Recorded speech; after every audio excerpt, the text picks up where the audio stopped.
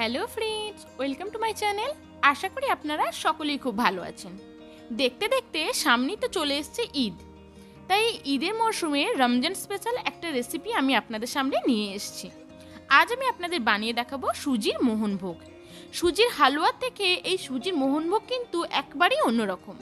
চলুন তাহলে দেখে নেব এই সুজির মোহনভোগ আমি কি করে বানাই।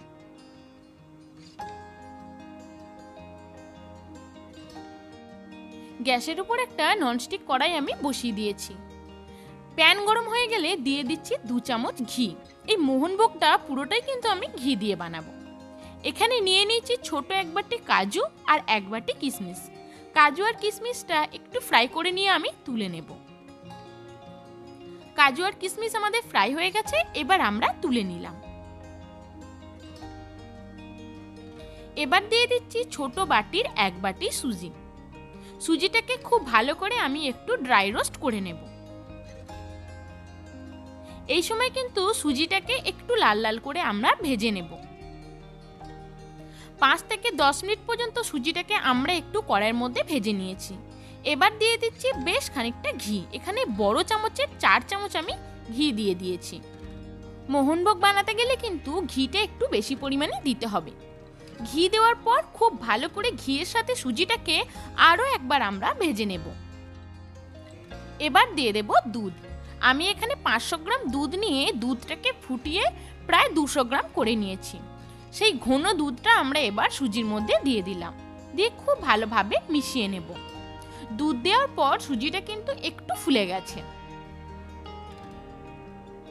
খুব ভালো করে মেশানো হয়ে গেলে এবার আমরা দিয়ে দেব চিনি।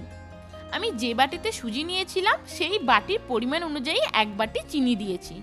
আপনারা যেরকম মিষ্টি খাবেন, সেই অনুসারে কিন্তু চিনি এখানে ইউজ করবেন। চিনিটা দেওয়ার ফলে চিনিটা যখন একটু গলে যাবে, সুজিটাও কিন্তু একটু পাতলা হয়ে যাবে।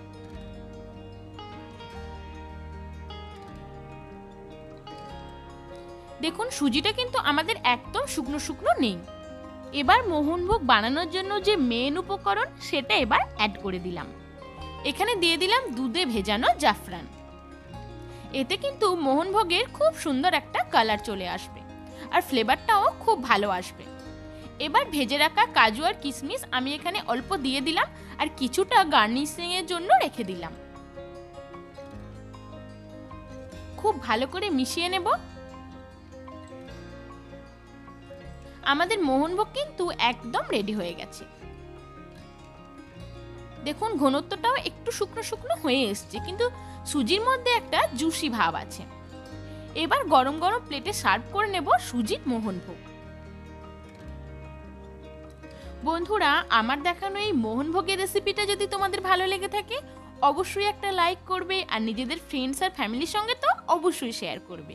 আর যেসব বন্ধুরা এখনও নতুন, আমার চ্যানেলটাকে সাবস্ক্রাইব করেননি প্লিজ বন্ধুরা চ্যানেলটা সাবস্ক্রাইব করে দেবে আর পাশে থাকা বেল বাটনটা তো অবশ্যই ক্লিক করবে।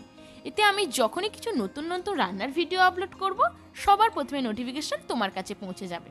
তাহলে আজ আসি বন্ধুরা, দেখা হবে আবার একটা অন্য কোনো পর্ব নিয়ে। সবাই খুব ভালো থাকবেন, সুস্থ থাকবেন, ধন্যবাদ।